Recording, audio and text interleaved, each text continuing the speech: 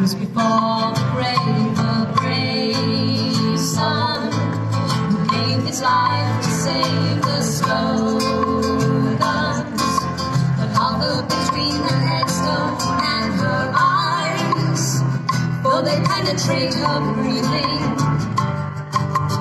You love the boy and girl are talking you.